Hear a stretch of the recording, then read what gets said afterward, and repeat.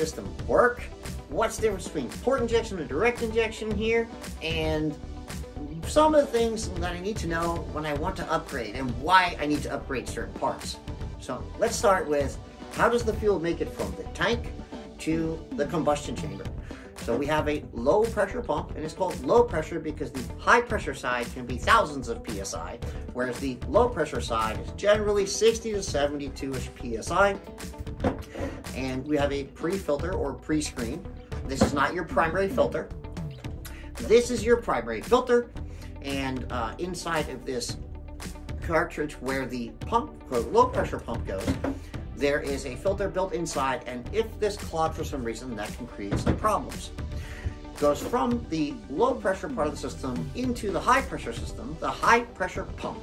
The high pressure pump has an inlet here in which it allows fuel in via this little solenoid, will allow fuel open into the high pressure pump.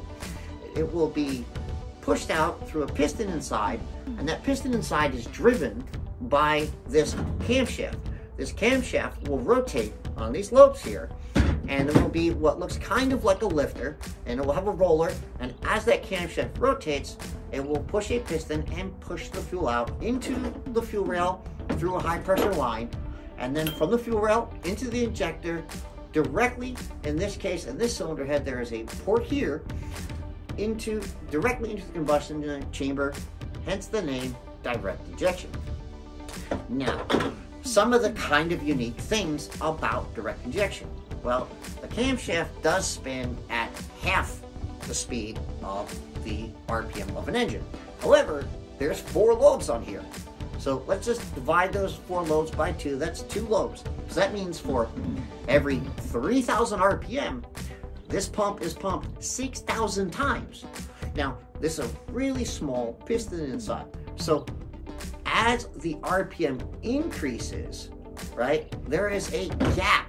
So it's not like 3,000 RPM, it pumps 3,000 times, 6,000 RPMs, 6,000 times. So because that gap in RPM changes, the efficiency of a high pressure pump gets better as RPM increases. So I want you to keep that in mind. Now, how do we know when we have a problem or we need to upgrade? One of the downsides of a direct injection is there's usually no pressure sensor on the low pressure side because you need to look at it like two separate systems, high pressure side and low pressure side. Since there's only a sensor on the fuel rail here, we can only tell if there's a fuel pressure drop here we can't tell you, we can't tell without doing some type of diagnostic route in the sense of adding a fuel pressure sensor somewhere or a fuel pressure gauge to know that, hey, we're losing pressure here. Unless you know exactly how much, you know, injector duty cycle you should have for the amount of pump that you have. Then you can kind of say, okay, you know, there's a good chance there's a problem here. That's just experience that's you can't. If we, I take a car that I've never seen the direct injection system on, and I start seeing this maxing out in duty cycle, and I see this losing fuel pressure, I don't really know which is bad and which is not, unless you have experience directly with the platform, because there's no way to tell. Now, let's say we figure out there's not enough fuel going to your high pressure pump. You can either upgrade the actual pump, you can upgrade to, uh, if they make aftermarket assembly, or you can create a return system. Once you've done that, and then you realize the high pressure pump is your next possible limit, obviously replace the high pressure pump with an upgraded one from aftermarket, or in some cases, if you have a certain aftermarket pump, they make camshafts that have an upgraded lobe on them that will that increases the size of the lobe and you can increase your pump output that way. And then in certain instances, the high pressure line has what's called a restrictor or a built-in restrictive pulse damper. All this is is a restrictive smaller hole so that while this pump is pumping fuel in, because a mechanical pump, you get pulses of fuel. This helps mitigate those pulses so that you get a cleaner, more steady fuel inlet to the injectors in your fuel rail. In some cases, there will be a restrictor built into the top of the injector to also help this out. Uh, the downside to one of these versions is that there's a limit to where uh, these injectors can flow at lower pressures. Now, in, in, in also some very more rare cases, the uh, fuel rail can be a restriction. So you can upgrade the fuel system and maybe the holes inside this rail are just not enough to reach the max potential of the system. Alrighty, now that we know that, let's move on to the last part, and that's the injector. And some people really ask, why does this injector have to have such a large flow rate size to make such little horsepower? I mean, a 1000 cc port injector can do 600, 700 horsepower on ethanol, right? Uh, why can't this 1000 cc direct injector do that? Well, it's called injection window. It's the time that you have in order to spray and still be able to ignite the fuel. Now, in a port injected car, not direct injected port, the fuel is sprayed into the intake port. Then it comes through past the intake valve into the cylinder, it's mixed, the valve's closed, compresses, ignites, fuel is burned.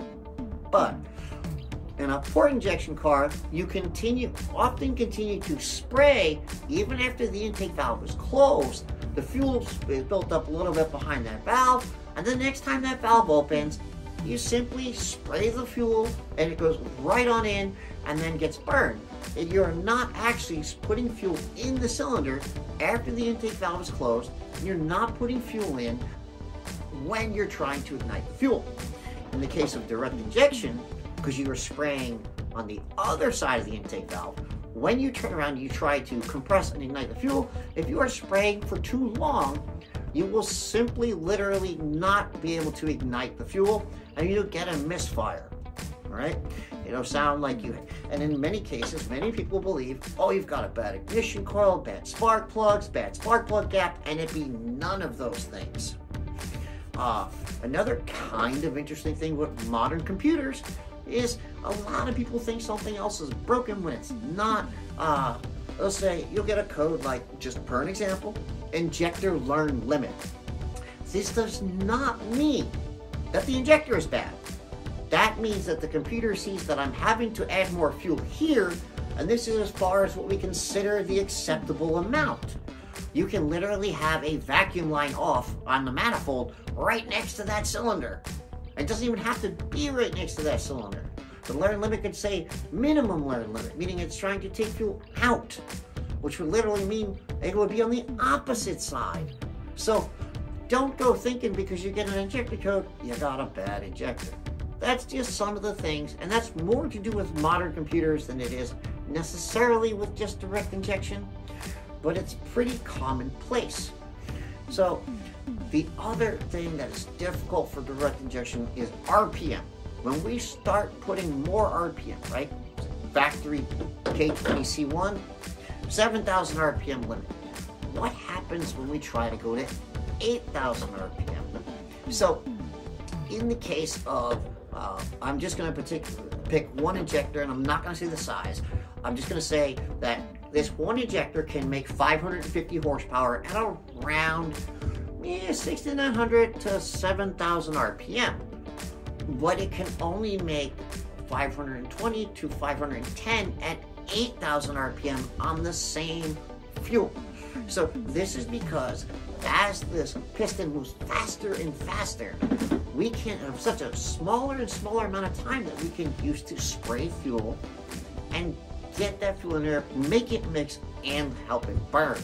So when you have direct injection and your injector size kind of the best way to look at it is if I want to make double the horsepower, I'm going to need, and I want to add RPM, you need to remove a certain amount from that number.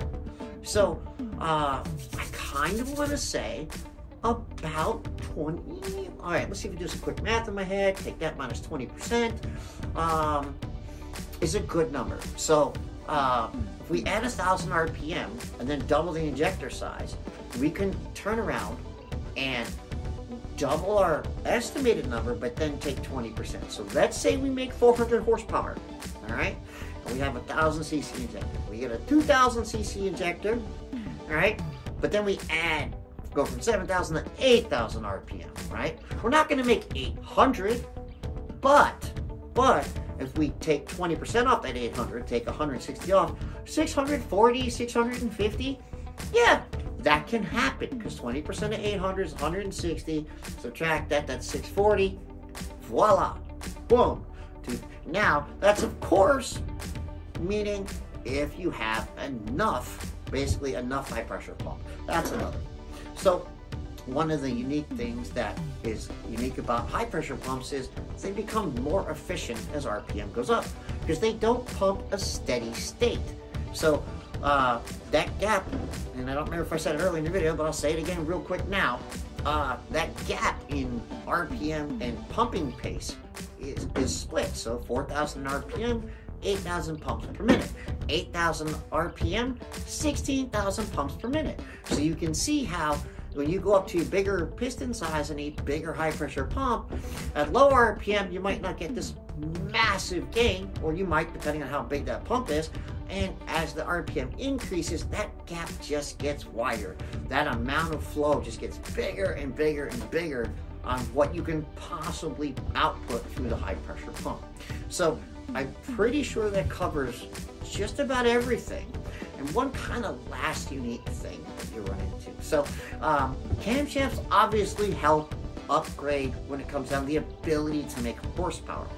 Sure, I'm not getting into all mix and match, but I'm going to tell you, if you already maxed out your injectors, right, and you maxed out your fuel system, there's a good chance that you're not going to make more power by adding a camshaft, springs, retainers. There's a solid chance of that.